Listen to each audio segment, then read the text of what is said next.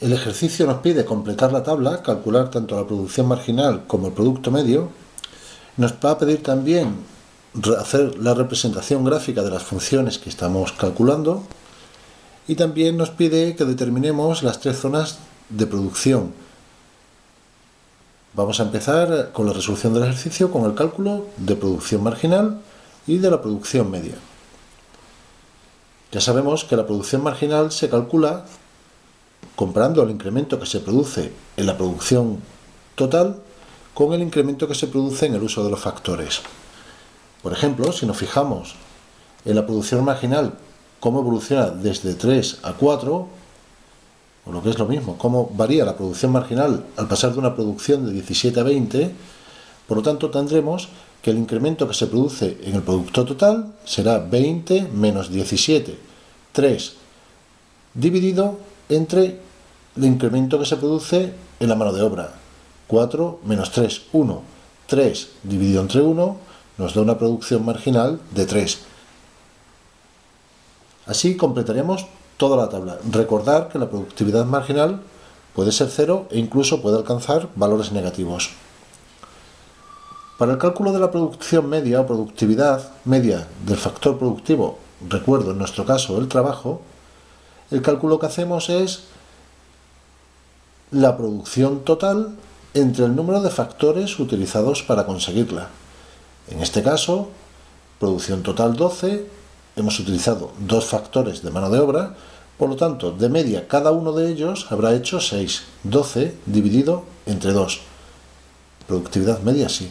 Y así completaríamos la tabla completamente. Aquí tenemos la fórmula de producción marginal y aquí tenemos la fórmula de producción media o productividad media.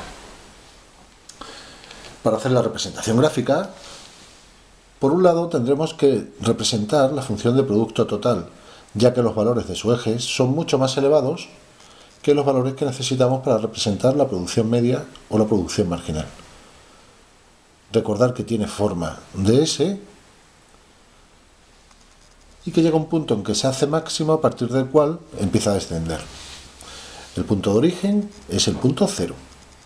Por lo tanto, para una un recurso humano utilizado, producción 5, 1, 5, 2, 12, 2, 12, 3, 17, 3, 17 y uniendo los puntos pues tendríamos la representación gráfica de la función.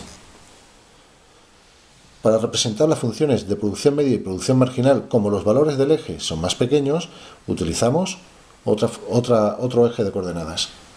Vamos a procurar situarlos en la posición para que coincidan los valores del eje de las X, en este caso de los factor mano de obra, para poder hacer una comparativa entre ambas funciones. Por lo tanto, una vez que tenemos hecho el eje, le hemos asignado valores hasta un valor máximo de 8, que como veis no se alcanza en la tabla. En el eje de las X ponemos los factores utilizados, de 0 hasta 7, y procedemos a su representación. Cuando tenemos 0, 0, cuando tenemos 1, 5, 2, 7, 3, 5, 4, así sucesivamente obtenemos los puntos y luego uniendo los puntos tendremos la función o la representación de la función de productividad marginal. Recordar que la productividad marginal puede ser cero o incluso negativa. Por lo tanto, tiene forma de valle o de, o de alta montaña muy puntiaguda. ¿De acuerdo? Productividad marginal.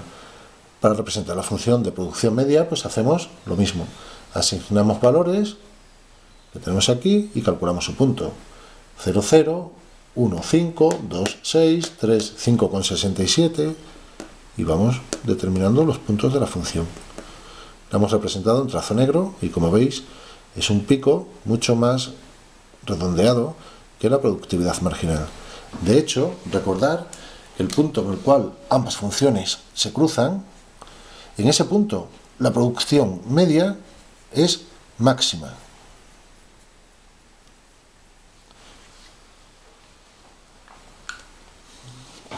Muy bien, pues ya tenemos la representación de las funciones de producto total y de producción media y marginal. Cuando nos pide determinar las tres zonas de producción, las zonas de producción vienen determinadas por la eficiencia de la empresa. En la zona 1 será utilizar aquellos factores productivos que nos permiten alcanzar hasta el máximo de la producción media. En este caso, en el ejemplo, tenemos que será para un valor de entre 2 y 3. Entre 2 y 3, que corresponderá con un punto en la función intermedia. Como veis, podemos seguir produciendo. Por lo tanto, lo normal es que cualquier empresario decida continuar produciendo porque aún puede alcanzar muchas mayores producciones. Esta primera zona es una zona de arranque. Los empresarios normalmente se situarán sus decisiones en la zona 2, porque aunque la productividad media continúa cayendo, cada nuevo trabajador que contratamos nos permite aumentar la producción, es decir, presenta productividades marginales positivas. Esta zona 2 tendrá un máximo o tendrá una cotación para aquel trabajador ya que nos da un incremento en la producción cero. En este caso, como estamos viendo, en este caso, para 6 trabajadores, cuando hemos pasado de 5 a 6, no hemos incrementado nada la producción. 21, 21. Por lo tanto, ese último trabajador nos aporta cero. A partir de ese punto, no contrataríamos, es la zona 3. Nadie contrataría más mano de obra para producir menor cantidad. Por lo tanto, en todas las decisiones de producción, los empresarios se situarán en la zona 2, la que va comprendida entre el punto donde la producción media se hace máxima y la producción marginal se hace cero. Punto 2. Desde el máximo de la producción media a la producción a cuando la producción marginal se iguala a cero. Es decir, que el último trabajador que contratamos no aporta nada a la producción total.